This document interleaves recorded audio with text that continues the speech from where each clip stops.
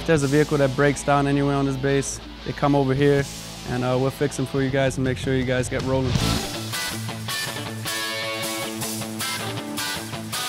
I'm Master Martinez, and I deal with the day-to-day actions of vehicles coming on base, going off base, uh, being repaired. We impact the entire base. There's two wings. All their vehicles are maintained here by us. Without vehicle maintenance, you pretty much don't have a mission. We, we go out, we uh, make sure that the planes have the vehicles to tow them. We make sure that uh, the cops have the vehicles to drive. If we didn't have vehicle maintenance and we'd have a bunch of broke vehicles, nothing to tow anything, planes wouldn't move.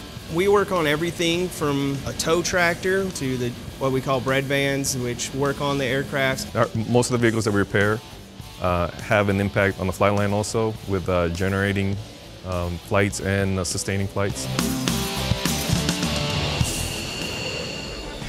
Vehicle maintenance has had a huge impact on any base I've been to. So uh, I think what's uh, universal with vehicle maintenance is that any shop I've been to has been a great group of guys and girls that uh, have just done their hardest to make it possible that everything works on the base. We, we open and close about 188 work orders a month.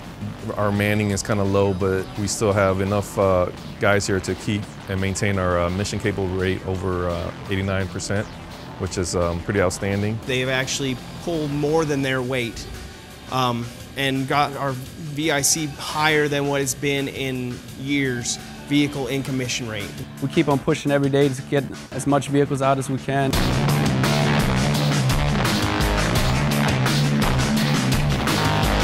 I've been in vehicle maintenance for about six years now.